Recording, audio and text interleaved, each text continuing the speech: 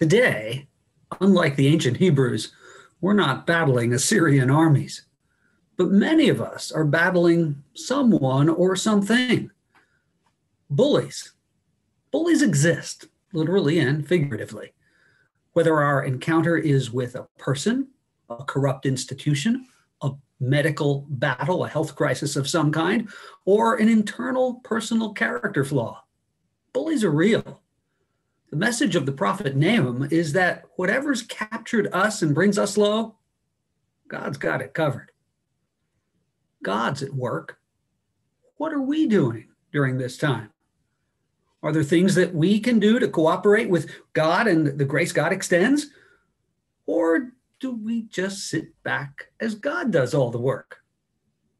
God prefers a partnership, and there's plenty we can do.